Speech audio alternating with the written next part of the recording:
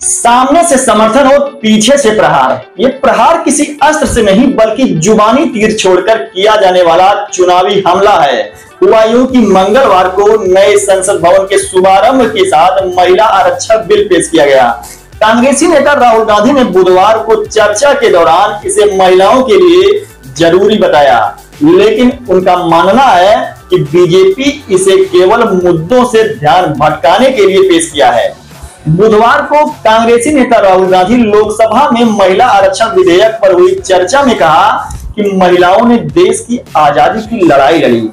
महिलाएँ हर तरह की लड़ाई लड़ने में समर्थ हैं और उनके हक की लड़ाई आज भी जारी है। महिलाओं के लिए आज आरक्षण आवश्यक है।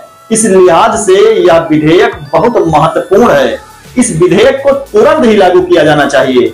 राहुल ने आरोप लगाया कि सरकार ने इस विधेयक को लागू करने के लिए नहीं, बल्कि इस माध्यम से अडानी मुद्दे और जात जनगणना के मुद्दे से लोगों का ध्यान हटाने का एक प्रयास किया है।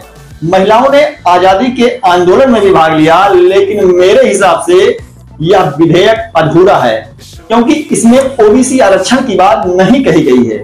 इस विधेयक के क्रियान्वयन के लिए नई जनगणना कराने के साथ ही नया परिसीमन कराना होगा।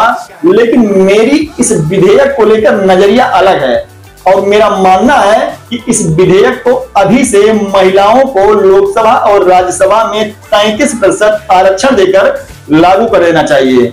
महिलाओं के साथ खिलवाड़ नहीं होना चाहिए, इसलिए इस विधेयक को जल्दी लागू किया जाना आवश्यक है।